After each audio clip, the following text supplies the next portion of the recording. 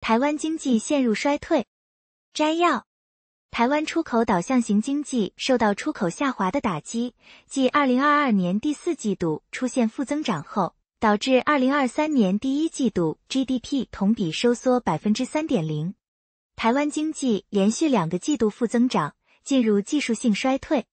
导致出口放缓的一个关键因素是全球主要市场，尤其是美国、欧盟和中国大陆对台湾电子产品出口的需求疲软。台湾出口导向型经济受到出口下滑的冲击，继2022年第四季度负增长后，2023年第一季度 GDP 同比收缩百分之三点零，连续两个季度录得负增长，台湾经济已进入技术性衰退。导致出口放缓的一个关键因素是全球主要市场，尤其是美国、欧盟和中国大陆对台湾电子产品出口的需求疲软。台湾在二零二三年初陷入衰退，台湾经济在二零二二年第四季度和二零二三年第一季度连续两个季度出现负增长，这是继二零二一年和二零二二年经济强劲扩张期之后。二零二一年全年 GDP 同比增长百分之六点五，这是自二零一零年以来最快的年度经济增长速度。这得益于出口同比增长百分之二十九，其中半导体出口同比增长百分之二十七。随后，在二零二二年大部分时间全球对电子产品出口的强劲需求的推动下，二零二二年 GDP 继续以百分之二点五的速度正增长。台湾的商品出口在二零二二年同比增长百分之七点四，这得益于出口的强劲扩张。电子元件出口同比增长百分之十六点四，而半导体出口同比增长百分之十八点四。然而，由于美国、欧盟和中国大陆的电子产品需求疲软，作为主要出口产品的台湾电子产品出口在二零二二年下半年和二零二三年初大幅减弱。台湾出口下滑一直是导致经济放缓的关键因素。二零二二年第四季度商品出口总额大幅下降，同比收缩百分之八点六。台湾的出口在二零二三年初仍然疲软，二零二三年三月的商品出口同比收缩百分之十九点一。三月份对中国大陆和香港特别行政区的出口同比下降百分之二十八点五。中国大陆是台湾最大的出口市场，占台湾总出口的百分之二十八，而香港特别行政区则占台湾总出口的百分之十四。三月份对美国的出口也大幅下降，同比下降百分之二十点七。台湾制造业经营状况在二零二三年初仍然疲软，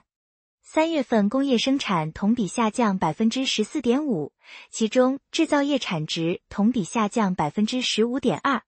标准普尔全球台湾制造业采购经理人指数 （PMI） 从三月份的四十八点六下降至四月份的四十七点一，表明该行业的健康状况连续第十一个月下降。将标题指数进一步推低至中性五十点零水平以下，是四月份新订单总量的恶化。销售收缩反映了国内外需求疲软，以及一些客户的库存水平相对较高。新出口业务同样以一月份以来最快的速度下降，而且整体下降幅度很大。疲软的需求状况导致企业在第二季度初再次削减产量，减产步伐整体显着为三个月来最快。较低的生产要求促使企业大幅削减投入采购，同时他们对库存持有量保持谨慎态度。值得注意的是，在最近的调查期间，成品和预生产项目的库存都有所下降。与此同时，对投入品的需求减弱进一步增加了价格下行压力。此外，平均投入成本以五个月来最慢的速度上涨，而且总体上涨幅很小。刺激销售的努力导致公司在四月份再次下调平均售价。二零二三年三月，台湾消费者价格指数 CPI 通胀率放缓至百分之二点四 year on year，而扣除能源和食品的核心 CPI 同比上涨百分之二点六，表明零售通胀压力仍然可控。尽管近几个月通胀一直在放缓。但台湾央行在二零二二年采取了一系列适度紧缩措施，以抑制通胀后，于二零二三年三月二十三日将政策利率上调百分之十二点五，以限制潜在的进一步通胀压力压力。二零二二年三月二十五个基点 BPS 的紧缩步骤是自二零一一年六月以来的首次加息。最近一次政策利率变化是二零二零年三月，为应对全球 COVID 十九大流行而降息。随后在二零二二年六月增加了十二点五个基点。在二零二二年九月增加了十二点五个基点，在二零二二年十二月又增加了十二点五个基点。电子行业面临的全球逆风。